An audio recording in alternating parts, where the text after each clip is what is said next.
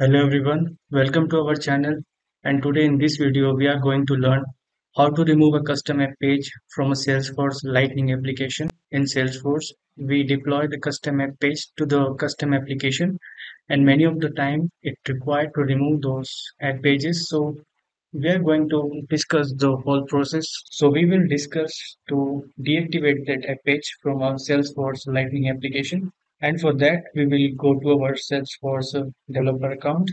So right now I'm in my Salesforce account and now I will show you the app page which we are going to remove. So this is the application in which the custom app page is right now activated or deployed. This is the app page, sales help.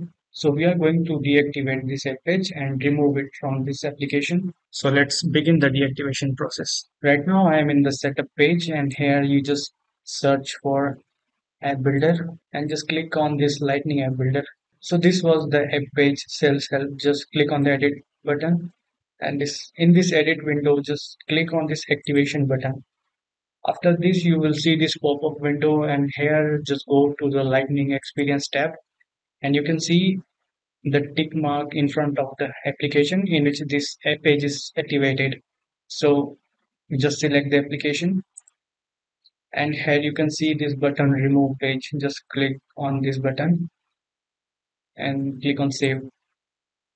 Again click on this save button. Now we have successfully deactivated the custom app page. Now we will go back to the application and check whether it is removed or not. So right now i'm in my application and here you can see the sales help page is successfully removed from the tabs and the application as well so this was the process of deactivation. If you have liked this video, then please do like, share and subscribe us. And do not forget to hit the bell icon so that you can get regular updates of our new videos.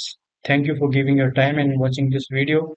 See you in the next video. Till then, goodbye and have a great day ahead.